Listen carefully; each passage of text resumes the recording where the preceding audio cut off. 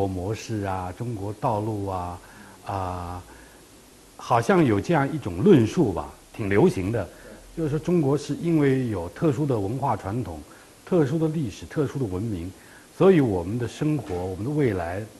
包括现代化的前景啊，将会是一个非常特别的、不同于世界现在，特别是西方的这样一种发展模式。那么这样一种叙述。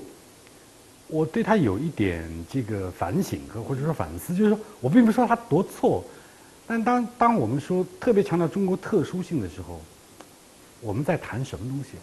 如果我们从一些大概念来讲呢，好像是说，你看中国有这么长的文明，特别是儒家文化不一样，然后这个跟西方不一样，然后我们这个跟西方不一样，那么啊，饮食起居、生活习惯，然后道德观念，比如说有忠孝仁义这些。好像都可以找到很多不一样的，但有的时候我在想，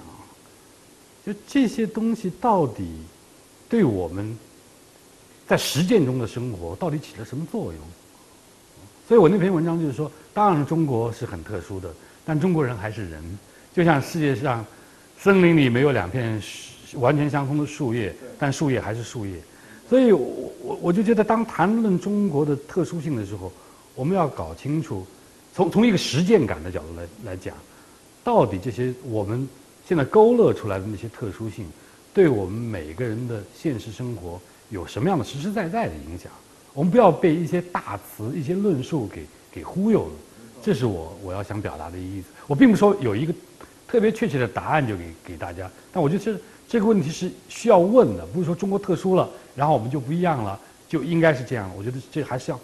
是一个需要问的问题。我特别同意你这个说法，就是当我们在说中国有多特殊的时候，我们要问的问题是说，我们到底在谈论什么？是啊，那其实是，比如说我们从文明的基本形态来看，我们可以说它有器物的文明，对吧？有制度的文明，还有可能是更深一层次的精神的，或者说那种心灵的那种文明啊。那我们说中国特殊性的时候，我们到底在什么程度上面在谈？啊，具体到比如说一些你刚才说的生活起居啊，然后说我们。或者说民主自由啊这些概念的时候，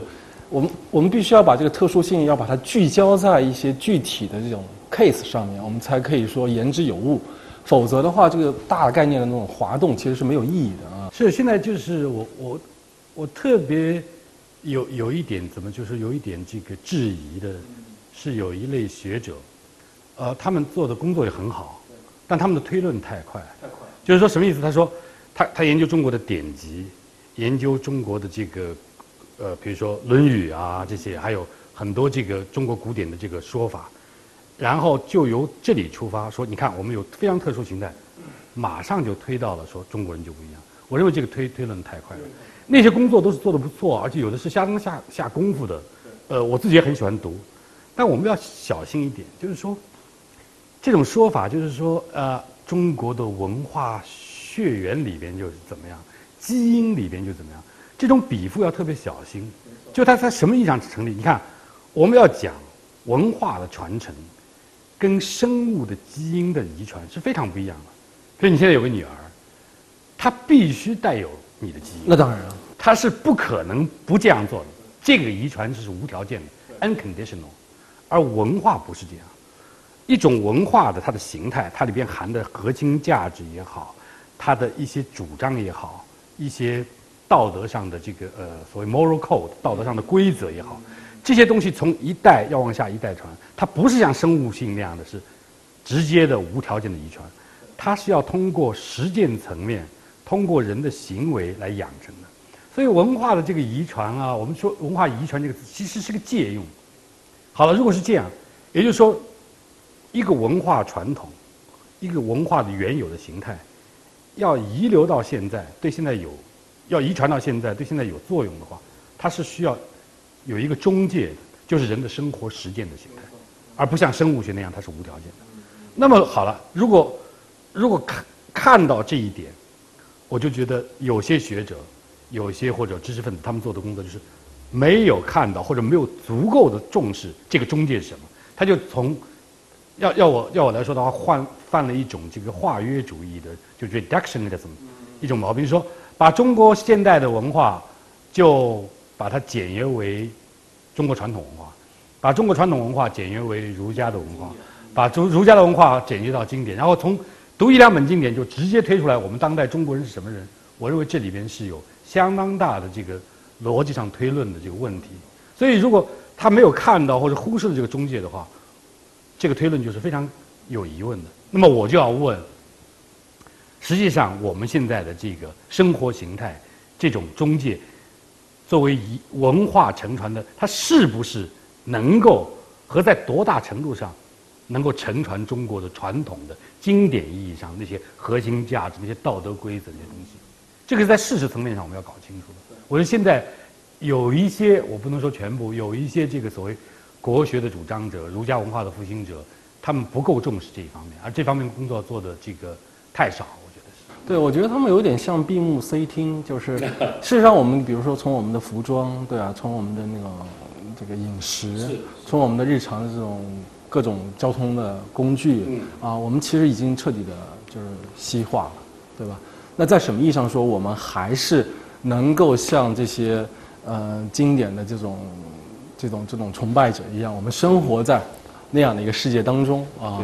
就皮之不存，毛将焉附啊？在这个意义上说，我觉得我很难想象，就是我们还能回到那种所谓的传统的纯正，如果有传统的纯正的中国人的生活方式。所以就是说，你要谈中国当代的文化是什么，你不能只有一个文本阐释，就经典文本阐释，你要有社会学的视野。那么从这个意义上，我们就就在我那个这本书的那个序言里面，我就讲到，就是说，我我先谈了人家一个国外国外的哥伦比亚一个教授怎么讲谈谈全球化，然后我就举了一个一个大学生普通的一天，你看他整个接受的，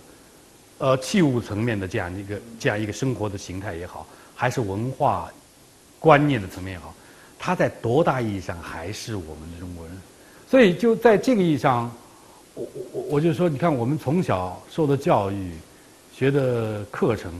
大部分是现代什么科学技术，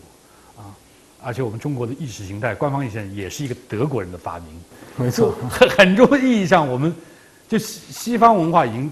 成为我们的所谓构成性的要素。所以在这个意义上，我们不能够说我们是一个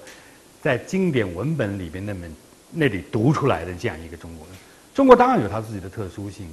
而且中国的这个，我并不说传统文化就没有影响。它它一，比如说，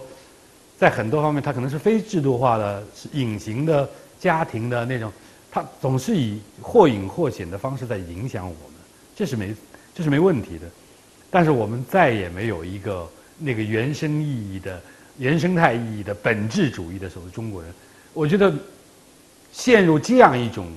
以这样一种呃这个论述为基础的。对于中国特殊性的这样一种论述，是是是一个是一个迷思，我觉得，嗯。